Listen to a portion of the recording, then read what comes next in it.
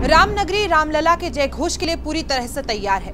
भव्य मंदिर बनकर तैयार है। प्रधानमंत्री नरेंद्र मोदी 22 जनवरी को रामलला की प्राण प्रतिष्ठा करेंगे।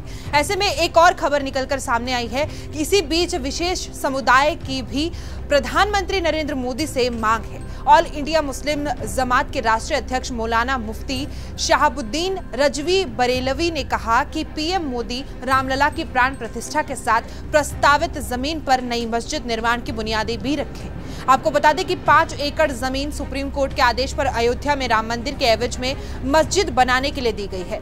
ये ज़मीन बाबरी मस्जिद के एवज में सुप्रीम कोर्ट ने मोजा धनीपुर जिला फैजाबाद में पाँच एकड़ ज़मीन दी गई थी, जिस पर अब तक मस्जिद निर्माण का कार्य शुरू नहीं हो पाया। मौलाना शहाबुद्दीन रजवी ने कहा कि मुसलमानों का सेंट्रल वक्फ बोर्ड से भरोसा उठ गया। वो चाहते हैं कि प्रधानमंत्री के हाथों मस्जिद की नींव रखी जाए। मौलाना ने सुन्नी सेंट्रल वक्फ बोर्ड पर नाराज़गी ज़ाहिर करते हुए कहा कि मुसलमानों का सुन्नी सेंट्रल वक्फ बोर्ड पर से भरोसा खत्म हो गया। बोर्ड पर अब एतमार नहीं किया जा सकता। मौलाना ने कहा कि राम मंदिर बनकर तैयार हो चुका है। वहीं दूसरी तरफ़, अफसोसजनक बात है कि मस्जिद के निर्माण के लिए अभी तक कोई कदम नहीं उठाया गया। मौलाना ने कहा कि मुसलमान आहत है।